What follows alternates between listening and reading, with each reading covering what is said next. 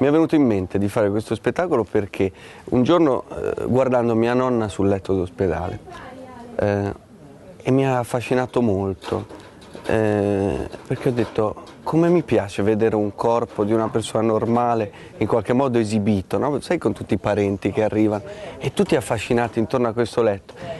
E anche perché noi scarti, ci chiamiamo scarti, anche perché siamo stufi di vedere a un certo punto sul palcoscenico eh, dei corpi preparati, super belli, con l'addominale, che muovono ogni dito precisamente, perfettamente. Allora ci siamo detti, mi sono detto, mettiamo in scena una persona normale, proprio che parla della sua vita. E questa è la scommessa, mettere in scena una persona normale e trasformarla in una star. Questo può essere, un, può essere una delle visioni del Big BG One Man Show, però è differente ecco, dal quarto d'ora di celebrità di Warhol. Qui siamo proprio a, allo sfascio. Sono nudo, nudo, come gli dei che nascevano dal cranio di Zeus o dalla sua coscia, come Dioniso, ed erano nudi e felici. Io invece sono nato dal ventre di mia madre. In Ubu la violenza stava sul palco senza espormi troppo dico che in questo caso nel Big BG One Man Show la violenza è stare anche in platea.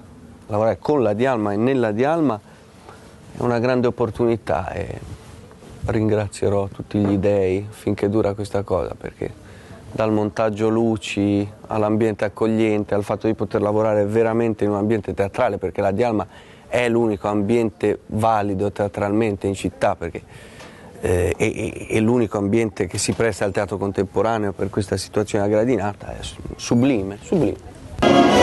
Io sono la Sfinge, miserabile essere mortale. In questa misera città io sono l'unico ordine e legge. Di giorno sono un eccentrico scapolo milionario che vive una tenera amicizia con il suo anziano maggiordomo. Di notte sono la guardiana e signora della città di Tebe. E questo spettacolo non ha nulla a che vedere con Ubu, proprio non ha il minimo collegamento, la minima traccia con Ubu, è qualcosa veramente che sarà nuovissimo. Sarà uno spettacolo principalmente eh, basato sulla persona del sottoscritto e la sua infanzia, no? si vedranno delle foto che accompagneranno delle didascalie, altrettanto naturalmente teatrali perché non sono didascalie. E poi ad esse verranno collegati episodi più o meno noti della storia del teatro, faccio un esempio, il Living Theater, che so, oppure il teatro della Grecia antica. E a questi episodi, questi episodi daranno lo spunto per delle piccole, per, delle piccole, per, delle, per, le, per agirli proprio sul contesto, per, rappresentarli sulla scena teatrale. Io, commento, io commento la foto, la spiego e poi la agisco davanti al pubblico.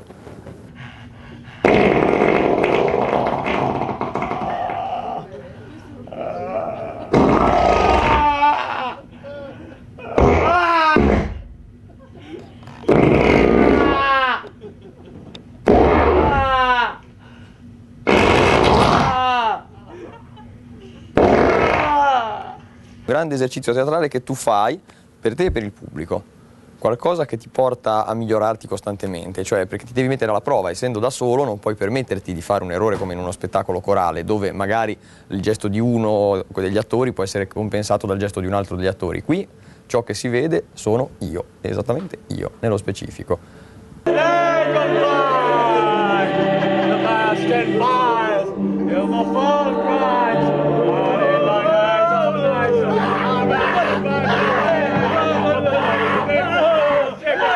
È veramente qualcosa che viene dal nulla in tutti i sensi, perché io veramente sono uno come potrebbe essere chiunque, sono una persona abbastanza veramente, a volte rasento l'insignificanza, e però eh, proprio questo dà la forza a questo spettacolo, cioè chiunque può riuscire poi a portare in scena uno spettacolo a, una, a conduzione 1, cioè retto da una sola persona.